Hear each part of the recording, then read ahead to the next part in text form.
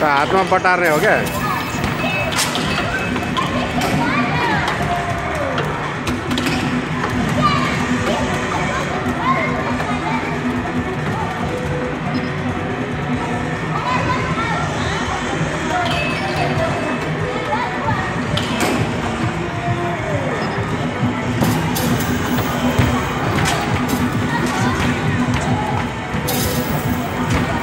घुमाउनु घुमाउनु